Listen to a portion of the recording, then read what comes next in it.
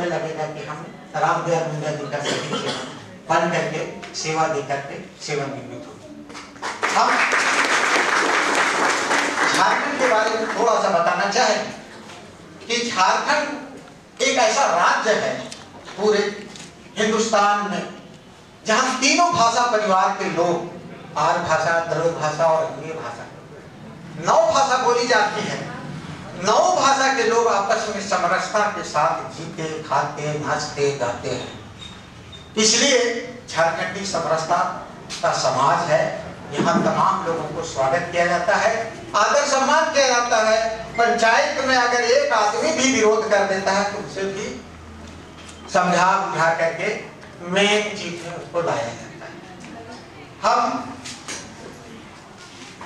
झारखंडी समाज समाज की समरसता के बारे में बताएँ।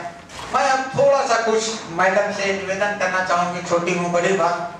मैडम से जब हम लोग समय लेने के लिए गए थे तो प्रचार को उन्होंने कहा कि